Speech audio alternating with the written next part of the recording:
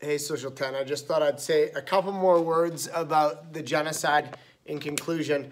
Um, I hope that that little video uh, wasn't overly gruesome for you, but I think it's important for you to recognize some of the tragedy that went on there, both in the form of brutal mass killing, but also the use of rape as a form of uh, genocide as well. So really a terrible experience. And, and I guess some of the aftermath obviously like the genocide itself is a legacy of historical globalization, but uh, Rwanda is, is doing fairly well today. In fact, I just read a post the other day that said Rwanda is one of the safest places to travel in Africa today. However, there's still a lot of scars that exist there, and there's still um, some pain that exists between these two uh, once non-warring tribes, tribes that used to, to get along quite well. Um, some of the legacies that have been left behind there still is that there are many uh, that were involved in the genocide, uh, uh, many Hutu men and women that were involved in the genocide that are still at large and, uh, and free to kind of continue roaming the earth and doing whatever they want to do.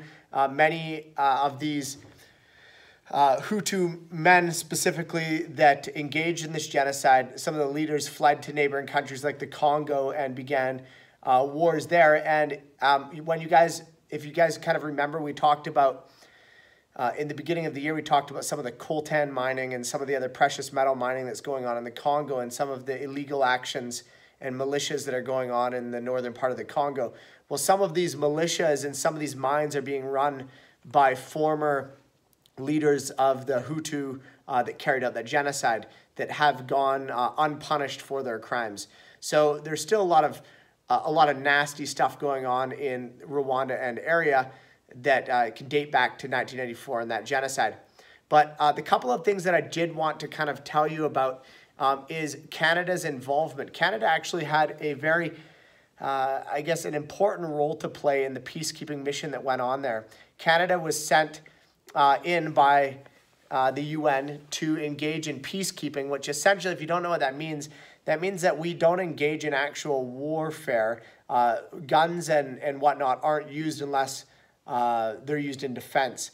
Essentially, Canada was supposed to be there to stand as a referee between the Hutu and the Tutsi that were in the midst of a civil war starting in 1991. And the leader of that, I guess the general of that peacekeeping mission was uh, a Canadian from Quebec named Romeo Dallaire. He's uh, a three-star general, quite a famous Canadian who has written many books since about Canada's behavior in that and what the UN's responsibility should have been. So Canada is part of a organization known as the UN, the United Nations, and the job of the UN is to keep peace around the world and ensure uh, we maintain security and stability around the world. Now, many of those that are leaders in the, the security aspect of the UN are Western countries such as the United States, uh, the United States um, and Great Britain and France. And some of the arguments that Romeo Dallaire says is that uh, is that the UN did not do enough to ensure the safety of those that were uh, in uh, in Rwanda. So um, just a couple of quick things about Romeo Dallaire's experience is um, he actually began right away in early 1994 to discover that there was a lot of um, aggression going on amongst the Hutu population towards the Tutsi. And he even actually noticed that, the, that there were groups of, of Hutu that were stockpiling weapons, specifically weapons like machetes and clubs.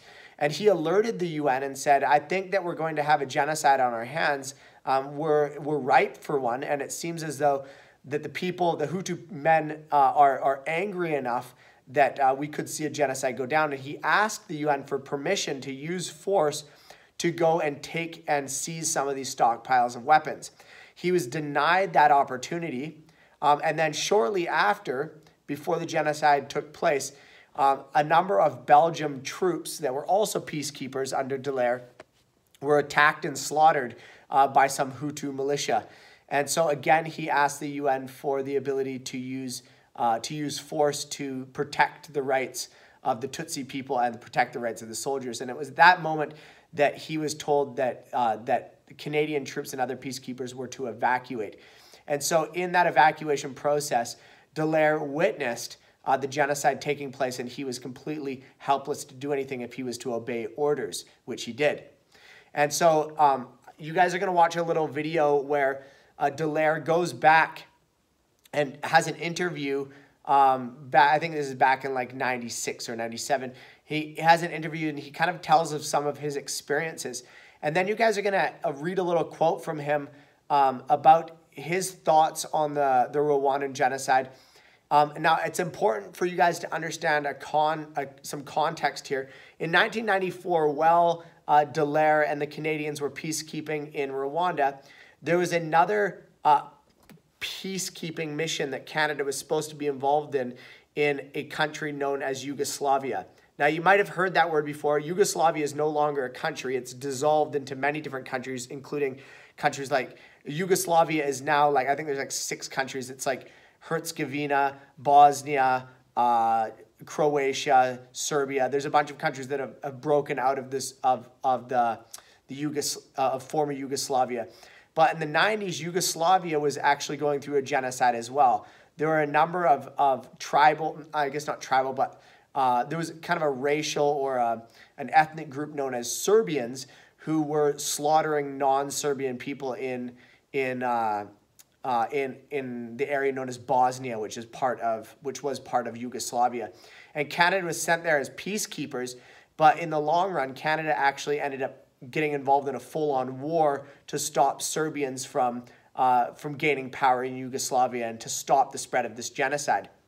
So Canada was very involved in a hands-on uh, offensive mission to stop a genocide in a European country.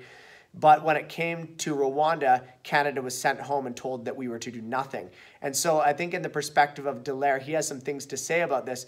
And, uh, and I want you to kind of analyze some of the words that he says. Um, I, I quoted a little, I have a little quote in your assignment that you're going to read, and you're going to kind of give me a, what you think Romeo Dallaire's perspective is when he compared uh, what, what went on in uh, Rwanda versus what went on in Yugoslavia. Okay, and so that is kind of your assignment. Watch the little video um, on Romeo Dallaire. He's kind of one of the heroes of mine. I think he was a really good guy who tried to do a lot to, uh, uh, to hold Canada more accountable for the fact that we did nothing, uh, but more specifically, uh, holding the UN more accountable to, to becoming a, um, an institution that does a better job at actually policing the world rather than kind of standing by and letting things happen. Um, and I guess he kind of lost faith in the institution of the UN in the long run. So um, anyway, th that's what I wanted to say. I hope that that made sense to you. I hope that you um, have learned something from this assignment. Um, and one of the great tragedies of the colonization of Africa and the legacies that were left behind there um, we're just talking about Rwanda, but we could actually look at almost any country in Africa and see how it was negatively touched by colonization. Um, and we will. We're going to look at uh, South Africa next, but I think that uh, that will do for Rwanda today. Um, for the next assignment, you guys are going to be doing a little bit of a source analysis on the topic of Rwanda, but um, I hope that you have learned something today.